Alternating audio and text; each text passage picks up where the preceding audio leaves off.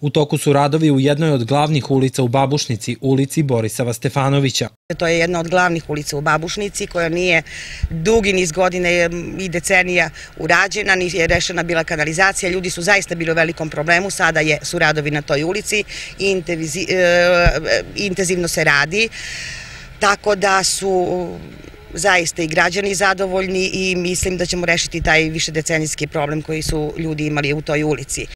Planirano je i uređenje drugih ulica i puteva na teritoriji ove opštine.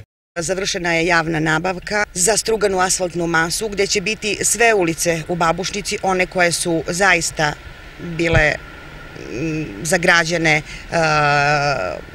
problem veliki jer su tako oštećene, uništene, tako da je ovim ćemo sve, planirano je da sve ulice koje nisu bile urađene, gde nemamo projektnu dokumentaciju, sanirat ćemo ih privremeno struganom asfaltnom masom. E, plan je da e, to i nešto e, prilazne saobraćajnice u selima, gde je ono najbitnije, gde može da se uradi, to će biti urađeno u narednom periodu.